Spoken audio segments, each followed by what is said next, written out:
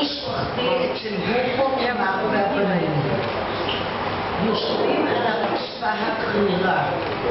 אלון מקריא או קורא מאחד הספרים הרבים בחדר, ויש ריח נהדר של קפה של שבת בבוקר.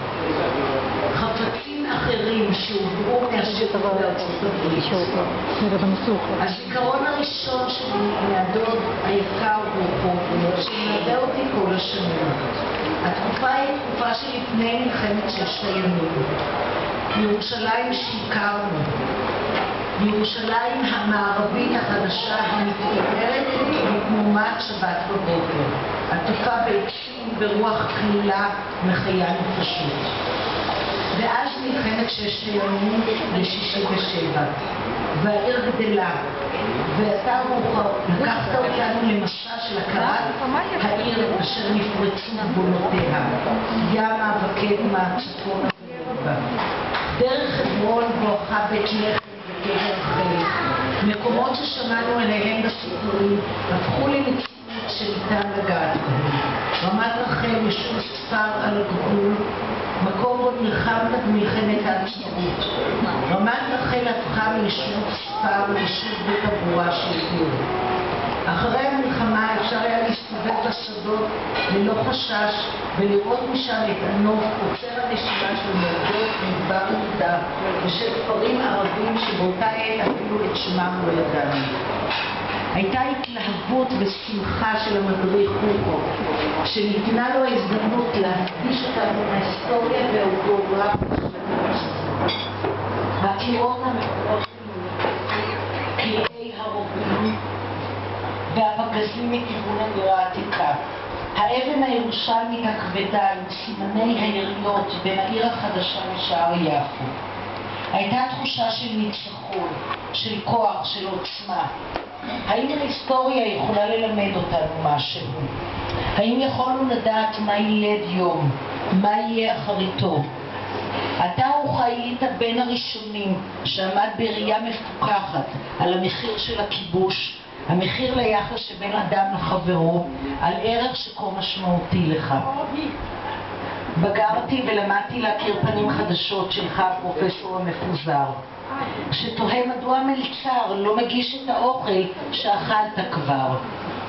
למדה פזור נפש ששוכח, ששוכח את תמר בסופר.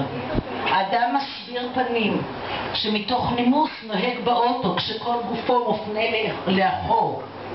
שלא אחת משים עצמו בצד, כאילו לתת לבן שיחו את המרחב כולו.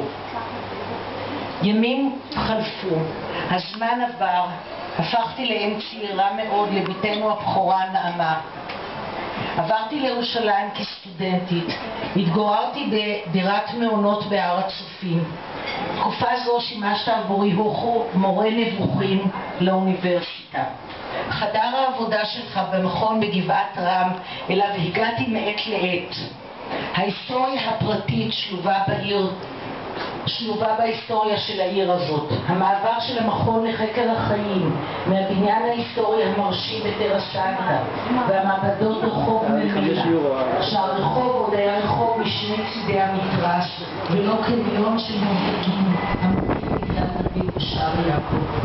החדר של רחוב המכון, ירושלים אינה רק ריח של קפה של שבת בבוקר ורוח קלילה מלטפת עם קדושה והתעלות הרוח יש ריח של חומצות ומבחינות, של חומרים לא מוחקרים, של תרגילים שיש בהם סוד. ואתה רוחו כל כך אוהב את ירושלים, שפה צמחה אהבת חייך לתמר, ופה בגרת והלפפת לאישי ממך. זה לוקח את הזמן, יש לך סבלנות? לגמרי. בשנה הראשונה שלנו בירושלים היה שלג כבד. העיר הייתה מכוסה בלבן, חורף של קור וגשם. בחלון הבית במעונות בהר הצופים שרקו הרוחות.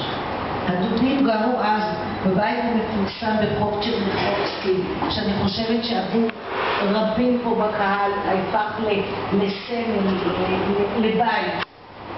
אתה דודי היקר, בנאמנות רבה, נסעת בכל יום שישי.